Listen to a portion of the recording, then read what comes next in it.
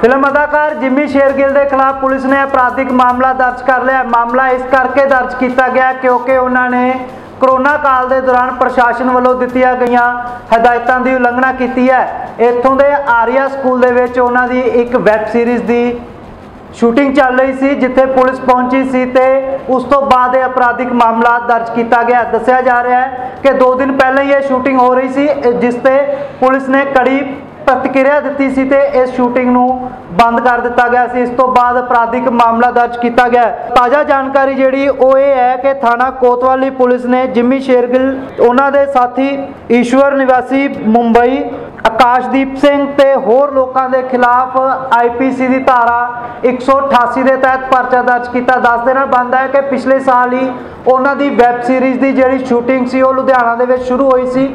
ਉਸ ਤੋਂ ਬਾਅਦ ਕਰੋਨਾ ਕਾਲ ਲੱਗਿਆ 8 ਮਹੀਨੇ ਦਾ ਲੋਕਡਾਊਨ ਤੇ ਕਰਫਿਊ ਸੀ।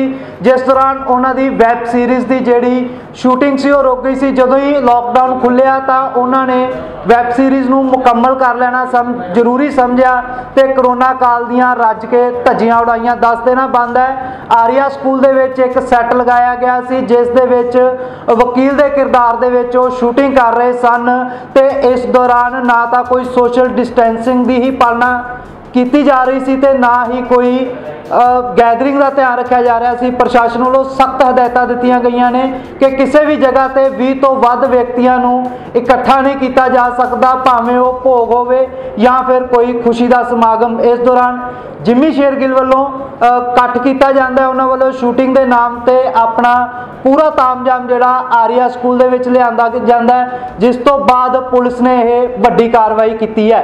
ਵਧੇਰੀ ਜਾਣਕਾਰੀ ਲਈ ਲਾਈਕ ਕਰੋ ਸਾਡੇ ਫੇਸਬੁੱਕ ਪੇਜ ਨੂੰ ਤੇ ਸਬਸਕ੍ਰਾਈਬ ਕਰੋ YouTube ਚੈਨਲ ਨੂੰ ਤੇ Instagram ਨੂੰ ਫੋਲੋ ਕਰਨਾ ਨਾ ਭੁੱਲਿਓ।